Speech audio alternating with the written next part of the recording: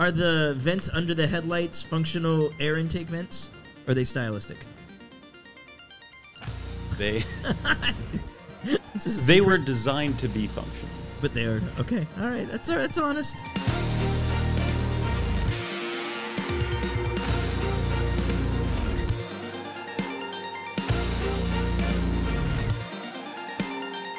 Hey everybody, we are here at the LA Auto Show with another episode of the Autopian podcast. Uh, I'm Jason Torchinsky, and I'm very excited to be here today. I've got also joining with me is uh, Stephen Walter Gossin from our site, and we have two guests from Toyota, Toyota's Calty Design Division. Uh, we've got Adam Rabinowitz and Benjamin Jimenez. So, guys, thanks so much for coming out. We really appreciate this. This is a, a big treat. And uh, Toyota, huge, one of the biggest automakers in the world. People have always seen your cars everywhere, and we've seen them for years. I know Calty is responsible for a lot of the design direction that's been going on in the cars. Um, we're going to start with the new Tacoma, I think, to talk about it because uh, our own David Tracy was just on your uh, press drive. Its design has been significantly changed since the last version, and uh, David specifically wanted me to ask you guys about that front air dam under the bumper there. It's huge. And he said when he talked to some some engineers and designers that it somehow translated the, the, the large air dam translated into more room on the inside for passengers. And I'm not sure exactly how one follows the other, but he claimed that was the case. David, is that right? Tell me. Am I wrong? More room means more drag, so you have to make up for that. Ah. So you have to reduce Okay. Some other way. So David, David is saying more room means more drag. We have to reduce it the other way. Anyway, tell me what you were thinking when you were transitioning from the previous Tacoma to this one, and any interesting details, including the giant air dam, if you want to talk about that. I don't think we have to go into a lot of detail about that air dam, We don't. mainly because as a styling guy, Yeah. we didn't want it. You didn't want it. No. I notice it's black and kind of hidden. You're This pushing is it back. really for aero and for fuel efficiency and meeting EPA targets. Right. Um, from a styling thing, this is just a, a need, not a want. And we were pretty much told you need to run with that. So, okay, th- but this is an interesting question too because this comes up a lot. As a styling guy, you're being thrown all kinds of required things you have to put in the car. So, how do you deal with that? Like this one, I can see it's de-emphasized, and actually walking back from it, I don't even think you really see it. It fades into the shadows under the car. So.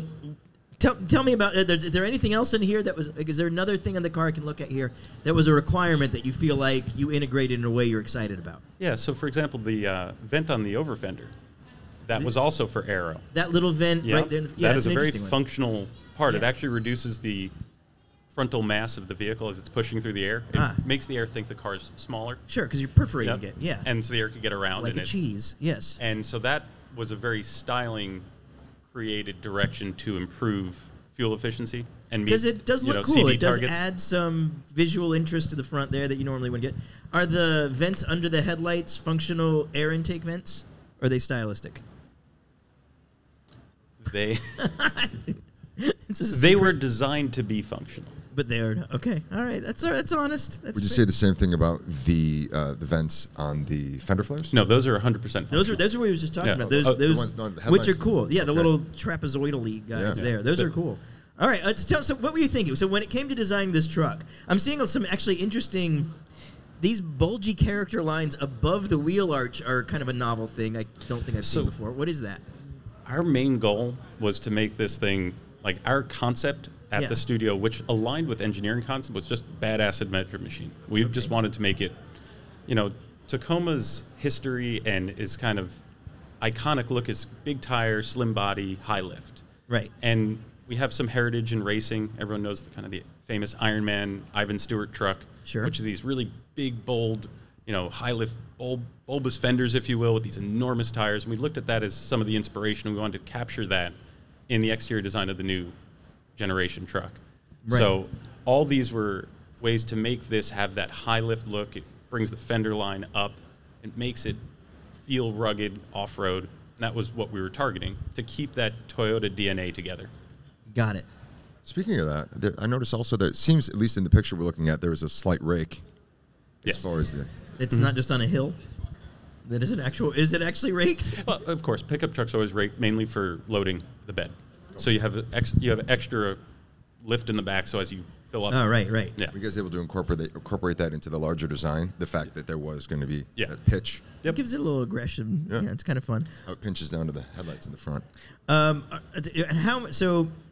Uh, what did is there anything? Uh, just walk me through the design of the truck. Like, is, are there other details here that you you'd like to call out here? So when we we got to do the uh, Four Brothers or the Toyota trucks in succession, which was really cool, and we wanted to make sure there was this family DNA, and part of that was slim, high mount- mounted headlights to emphasize kind of the technology, the techie feel. Okay. Um, we have the hexagonal, and don't count the corners because we'll it'll probably be wrong. It wasn't Right. um, wasn't great in geometry, um, but the kind of hex grill is kind of what we called it internally, just because that feels that's part of the Toyota DNA. Okay. Um, also, the vents under the headlight. All these things were part of trying to create a unified DNA that fits for not the nesting doll look, not where each vehicle is identical, but just scaled Audi. differently. Yeah. Yeah. Not- okay. Yeah. Just that was Sure. our our target. Yeah. Um, we also wanted to have this really robust chin or lower, and it really emphasizes that this is a capable vehicle. That we wanted to make sure that as a customer walks up to it, not only the Tacoma loyalists that need it to feel like a Tacoma, but future buyers understand that this is a rugged and capable vehicle, and that's what the styling was designed to do. Okay. E- even simple things like the line that comes off the front tire goes up. All these things are designed to lift your eye point up and, and emphasize the already high lift that the vehicle is. Got it. The uh, the kick up at the the window in the back, that angle there. Yep. That's been showing up an awful lot on a lot of different car makers.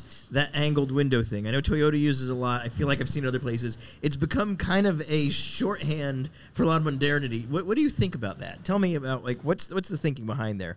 This this thinking came from again that brothers' relationship with Tundra. We wanted them. That was part of the side view. Yeah. of- and that was just part of our um, DNA for the DLO. Like this, depending on model, could have a two-tone roof, which also helps a very iconic. Right. See, kind of their you know when this is in TRD Pro form, it could have a, a black roof, which is Oh, cool. super cool. Right. I also I want to just take a moment to uh, point out a bit of uh, car designer terminology that I think is hilarious, and that is DLO, which stands for daylight opening, which humans call a window. Which I always like. I don't understand the daylight. O- what? Why? Can you tell me? Has it always been called that? Why don't they? Why are they not called windows? Is there is there a daylight opening that is not a window? Is it pot like what do you call? Is a sunroof a DLO? No. No. Uh, if it's a hole into the body that lets in daylight and not in the cab, is that a DLO? No. Or is it, it's always a window? And a windshield is a windshield. The windshield, but the windshield would not be considered a DLO. No. Interesting. Back window? Is back window a DLO? No. Just the side. Backlight. So it's the backlight. So windshield backlight, and then the side windows are DLOs. Yes. And even okay, so if it's a cargo area window, that's a deal. All right. Well, you got you got to put yourself into a meeting where you're talking about all these things, and then yeah. you know everybody's getting confused about which which window you're talking about. So Well, I mean, I understand differentiating windshield, rear window, or backlight. I don't know. I don't understand why window doesn't work anymore for DLOs, but whatever. Every every industry has their jargon. That's fine. Huh? That's exciting. Um, all right. Well, this is this is very cool. Do you mind? Okay. So now tell us a little bit about Calty itself. I know started in what seventy three, right? So 1973. This First- was Toyota's. What's that? first studio in California. The first studio. And this was Yeah. Toyota's first outside of Japan design studio. Yeah, yeah. Okay. I mean, it's it's actually the first car uh, maker to open a studio in California. Oh, oh, Yeah, period. period. Yeah. Oh wow. Okay, Yeah. that's a big deal. Toyota recognized that California was this kind of car culture happening Yeah. in the world, um, in in North America for sure, and uh, they really took this this leap of faith, this chance to uh, to open a studio uh, Right. in, in California. And you've had their hand in a lot of what we would think of as very iconic Toyotas over the Absolutely, years. some of the And I want to I want to show this. The very first concept car that came out of Calty, I believe, was this car. What was the uh, CX-80? Yeah. In 1979, I think this came out, and I. I kind of love this thing. I think it's. I don't necessarily know if I'd call it pretty, but it's a fascinating looking car with some deeply strange and interesting ideas. Do you guys? Can you tell me anything about this thing? Well, I mean, what I can tell you is, you know, that the designers working on it are looking at the world around them. Yeah. Where are where are people moving in the in the future? Right. What are they? What are their needs? And they're trying to interpret that into an automotive form. Sure. Um, I mean, this does feel like what the future looked like in 1979, 1980. Absolutely. And actually, can you go go back to that guy real quick, one second?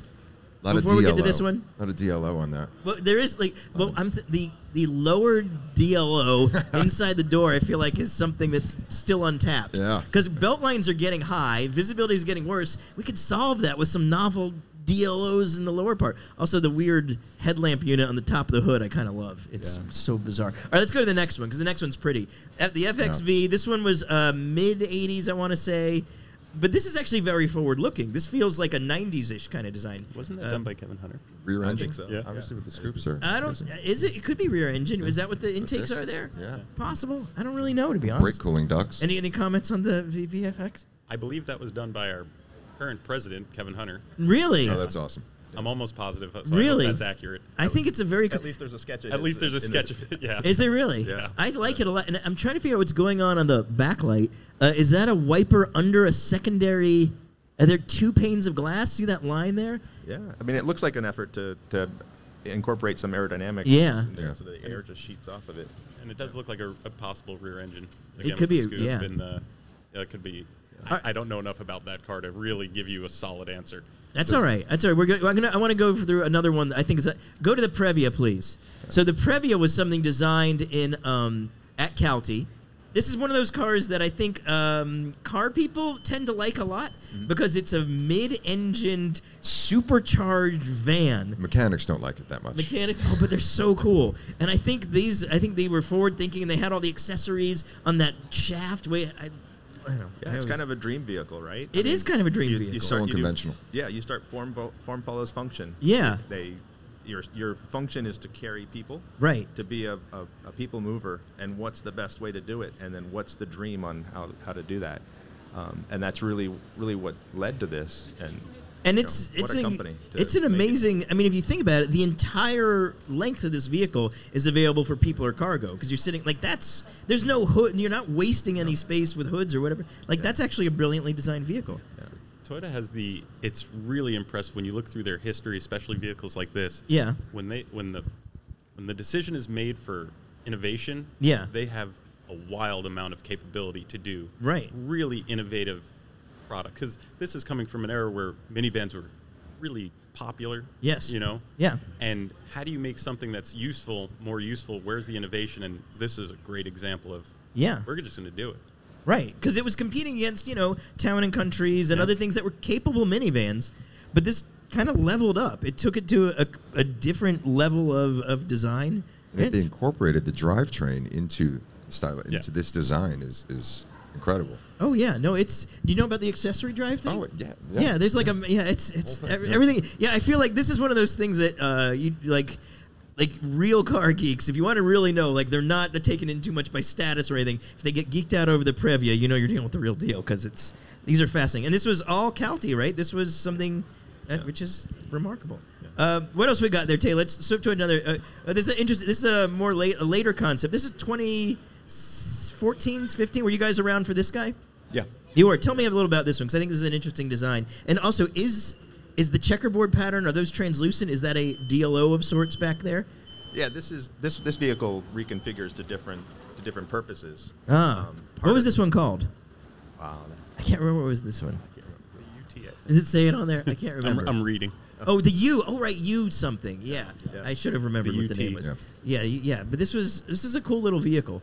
Um, Yeah, yeah, this is an era where, um, you know, where, where we build an idea from a not not what the vehicle is, but really how people are going to use the vehicle. right. So this vehicle, um, you've probably seen versions of it with different uh, different paint schemes, or Yeah. different advertisements. So it's it's kind of a um, you know for for people that want to own their own business, and uh, you know, Right. this is a this is a vehicle that kind of enables that. Did this uh, did this turn into any production vehicle in the end? Did it translate down to anything or not yet? I think it had a lot of influence, but I can't think of. I don't think it's, Yeah. it went directly through in the way can't that think the of Previa anything. did. Yeah. Huh. Okay. Those headlights are novel. Yeah, they know the headlights are. This is a cool Yeah. little thing. Yeah. Honestly, this is very cool. So those Um, wheels. and I know the uh, 2008 Scion XB, the the facelifted version of the XB. I was a big fan of the first gen XB, the very boxy one, and then they changed. Yep. Were you were you around during that period? So our studio, where, Yes. where Adam and I work, is is uh, in Michigan actually. and- and Okay. We do the production vehicles. Gotcha. Um, so we we we've seen all those developments. I saw the XB, the second generation development happen from a distance, and I owned I owned one of each of those. Oh, the first and the second gen? Yeah, the really cool vehicles. So They you get to see them before they get to the production side. Yeah. So you're able to see which stylistic elements make the cut and which ones are still in the future file. Yeah, yeah, that's right. That's right. Yeah, you know the XB, uh, that second gen started as a show car. Right, I remember the T T. It stood for like two box something, Yeah, right? I T2 remember that. T2B, I think. Yeah, T2. Yeah, right, Yep. right. Yeah. Yeah. You know, um, that Scion was a really cool brand. Yep. You know, aimed for um, a youth market. You know, tr- always tried to be edgy. Yeah. So that that uh, that vehicle was really, really pretty pretty slick, and it's That uh, open up new opportunities for you guys to work with different design approaches Yeah. because of branding. That's some. Beautiful I like. I'm. I.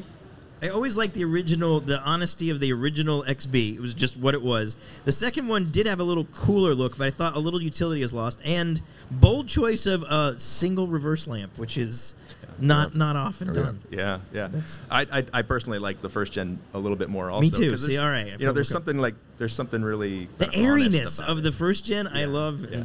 Once put a whole washing machine in mine. It's great. Yeah, but you know everything got better on the second gen. It's it drove better. It Yeah. had better safety. It had better comfort. Right. Um, everything about it, but there's something kind of raw about that first gen that that Sure. magic is hard to recapture. Yeah, no, I, I, I definitely love those. Um, I remember this was from a couple years. Were you guys working? Uh, 'cause this is not that long ago. This is just like two or three years ago.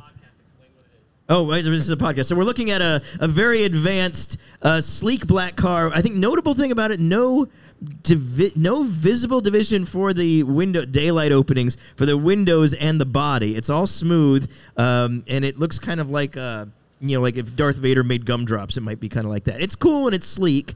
Has kind of little winglets. You want to talk about this at all? So this again came from the uh, Newport uh, concept studio. Yeah. Right. Yeah. And I think this was called the Fun V. Yeah. I think it was the Correctly? Fun V. Yeah. and it was about how cars could communicate with each other, and then all those were LED screens. Oh, so right. the reason it's such a blank canvas, the way you have it shown there, is because it's a blank canvas.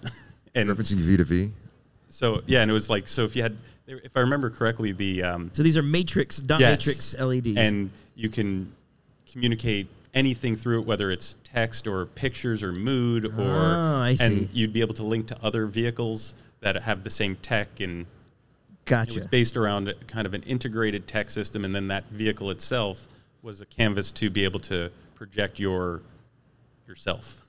Okay. Now, in your division in Michigan, for pure concept cars, do you have any input in these kinds of things, or they just go right to a show? We we compete You compete. Oh, you do. sometimes if we're lucky. If we're lucky, but Sometimes. we're usually busy. Yeah.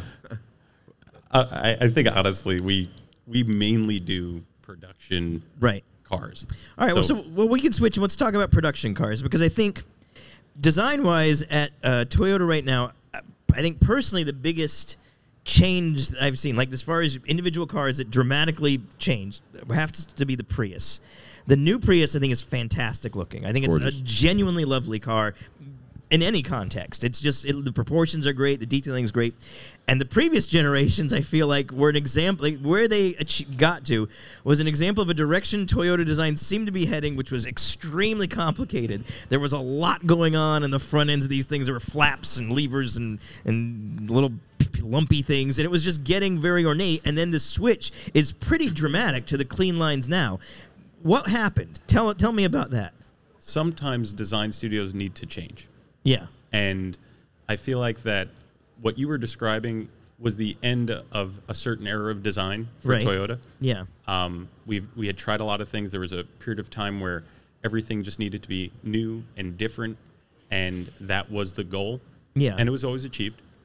Um, and then I think as we turn the chapter to this, the new chapter that I think the world is seeing now, Yeah. whether it's being done in Japan at the concept studios, Europe, or at the production studio, we are all working very much together to create kind of a cleaner, modern direction. Yeah. Like, I think this thing looks great.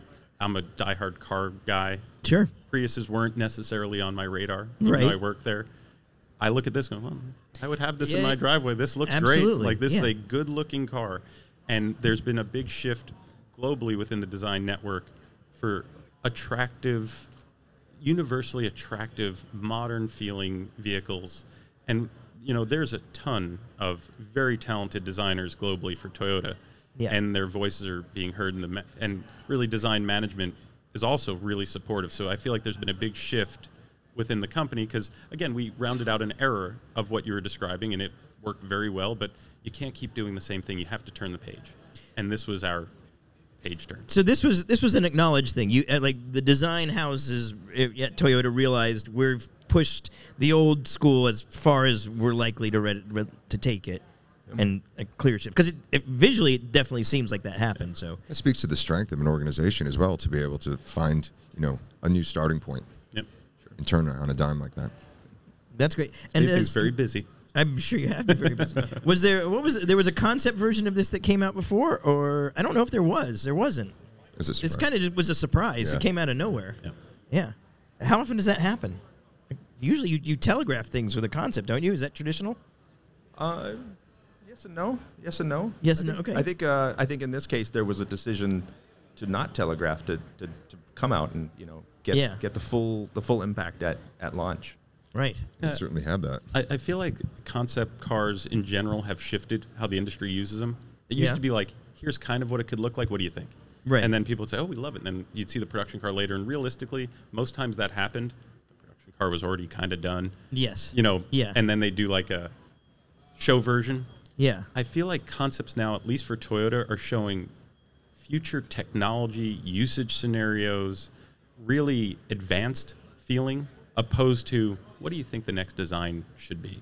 Right. You know, I feel like that's an older style of how a concept has been used. Right. Um, within reason, obviously, all companies have some of that still, including us. Um, but I, I look at what Toyota as a corporation has done with concepts. A lot of the stuff is some of those things. Oh, this is a digital platform to telegraph emotion through your car. Right. It's getting a test of what this the, the distant future could be. Hmm. Internally, we this then. Right. Sure. That makes sense. I have one quick comment I wanted to ask Yeah. you guys about. So we were looking at that Tacoma picture, and on the Tacoma, I noticed the door handles, the wheels. There was chrome on this truck again. Well, you're showing a limited. Yeah, they They're still all limited, but there's still chrome on the truck. yes. The resurgence of chrome, because it seems in recent years that chrome was something that was you see less and less of as far as a trim item or So a sparkle item. When you design. have as many grades as Tacoma, Tundra, a lot of these truck vehicles have, we wanted to be mindful of the customers that still appreciate chrome. And that's just what it comes down to. So whether it, we thought it was important because there are truckers, like truck diehard truck people, They want chrome. still like chrome. Like Yeah. it's not chrome isn't dead for everyone. There's a grouping of people that love the you know murdered out, blacked out vehicles. That's fine. We want to build people for them, we, or build cars for them. Right. And then there's people who really appreciate tasteful amounts of chrome, and we want to build trucks for those people. And that's why you're seeing we were very careful because we tried some that were maybe a little over the top with too much chrome. Right. You know, that's kind of how we do things. You got to go too far and then reel it back in. We thought Right. this is a tasteful amount of chrome for the for the individual who would really want a limited. That I think I think it's it. fantastic. So, It's bold. Thank you. All right. I think we have to wrap up pretty soon. But before we go, uh, just quickly, uh, I want to know what your first cars were. What was your first car? My first car was a 1974 Corvette. A Corvette. That's what No you way. started with. Yep, I Holy still crap. have it. Heck of a Wow, start. really? A '74 Corvette? Yeah. Wait, so that would be, that would, that's like a C, that's a C3. Yeah. Did you have the wipers that went under the panel? No, by 74 that went away, but it Oh, has it- the flip-up lights. Oh, least yeah. they stretched the hood by back then, so you didn't have to Didn't have vacuum. Yeah. Mm, I always like those. How about you? What was your first car? 82 Corolla. with Oh, an five- 82 Corolla. Wow. Yeah. The family. It had a hood ornament. It was. That was the it one really that had uh, the bumpers over time would get really velvety looking. You know that black rubber would yeah. look like velvet after a while. I always kind of yep. like that. It's good stuff. All right, look, we gotta we gotta knock it off now. But I appreciate you guys coming out. This was a huge treat and fascinating to talk about with you guys. Uh, so um, yeah, thanks again for everything. Everybody go out and buy a whole bunch of Toyotas so uh, these guys can keep doing what they do. Thanks, gentlemen. Thanks very much.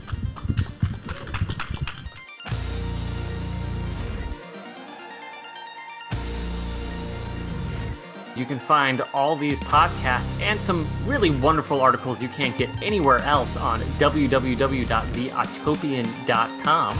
And P.S., if you love what we do here, you can become a vinyl velour or rich Corinthian leather member of The Autopian by going to theautopian.com and clicking the button that says support us because, as these podcasts are probably demonstrating, we need all the help we can get.